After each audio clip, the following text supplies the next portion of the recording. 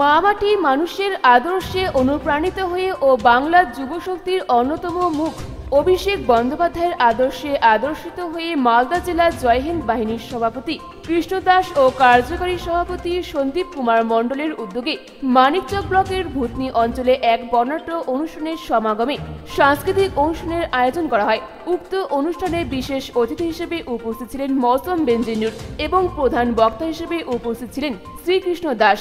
এছাড়াও উপস্থিত ছিলেন প্রাক্তন মন্ত্রী সাবিত্রী মিত্র সহ সভাধিপতি গোরচন্দ্র মণ্ডলের স্ত্রী অশোকা চৌধুরী, ভূতনি অঞ্চলের অধিক দলীয় কর্মী সহ আরও অন্যান্যরা। এদিন সকলের উপস্থিতি ছিল চোখে পড়ার মতো। এদিন এই অনুষ্ঠানের মধ্য দিয়ে গরিব দুস্থ মানুষদের হাতে এক হাজারের অধিক কম্বল তুলে দেওয়া হয়। বারবার সমাজসেবামূলক কাজ ও মানুষের বিপদে পাশে দাঁড়ানো বা যে কোনো কাজে সবার আগে এগিয়ে আসা মানুষটি কৃষ্ণ দাস। তা নিয়ে কোনো সংশয় নেই বলে জানান এক কর্মী এবং প্রচুর শুভাকাঙ্ক্ষী মানুষ ও সকলের আশীর্বাদ তার মাথায় আছে। সর্বক্ষণ তা বলাই বাহুল্য।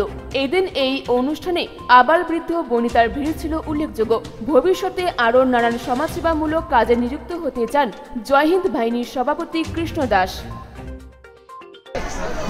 আমাদের শুভ সরস্বতী পুজো এবং আমাদের সকলের প্রিয় মহাত্মা গান্ধীজির মৃত্যুবার্ষিকী সেটাকে শ্রদ্ধা জানিয়ে আজকে যে কালচারাল প্রোগ্রাম এবং বস্ত্র শীত বস্ত্র বিতরণ অনুষ্ঠান করেছে, সে বিপদে আপদে জহিন বাহিনী নেত্রী সৈনিক হিসেবে, দাদার সৈনিক হিসেবে মানুষের বিপদে, আপদে মানুষের পাশে আছে।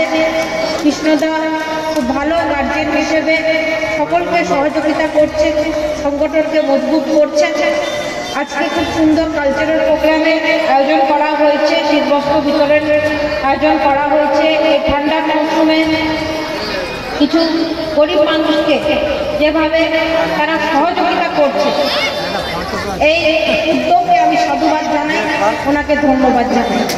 আজকে এই প্রোগ্রামে সারাদিন আমাদের দলের অনেকগুলো কর্মসূচি ছিল এবং এত দূরে প্রোগ্রামে আসতে পারব কিনা আমি নিজেই জানতাম না।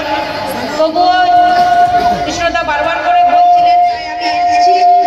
আমি আশা করছি আপনাদের এই প্রোগ্রাম ভালোভাবে হয়, সফল হয় এবং সবাই একসঙ্গে মিলে আনন্দ উপভোগ করব।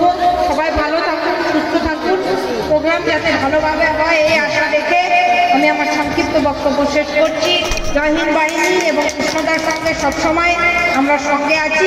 এই বলে আমি আমার সংক্ষিপ্ত বক্তব্য শেষ করছি। ধন্যবাদ।